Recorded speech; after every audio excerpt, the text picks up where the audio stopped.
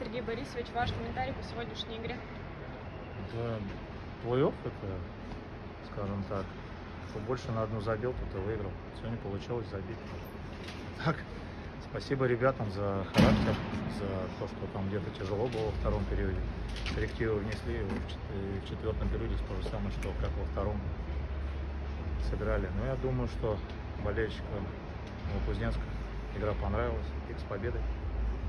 В основное время так и не удалось выявить победителя. Как настраивались на овертайм? Были ли какие-то особые установки? Да нет, никаких особых, так же как на второй период, я же говорил, короткие смены, чтобы не переигрывать, самое основное. Потому что сила на исходе, где-то переиграешь уже больше там, 20-25 секунд, уже не восстановишься следующий. Почему все-таки так э, тяжело далась эта победная шайба? Ведь обе команды вели довольно упорную борьбу. Хорошо вратари играли, я думаю так.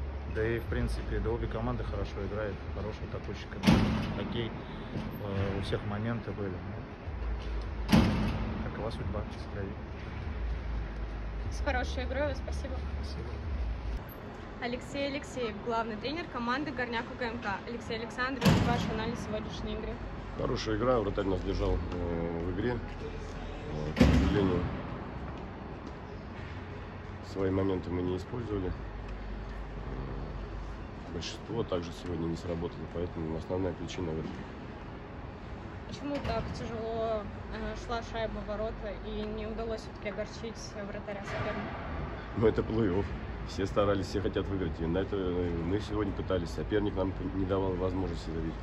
Поэтому так тяжело складывалась игра. Но в целом, в принципе, мы терпеливо играли. Ну, на завтра есть день, поэтому готовимся.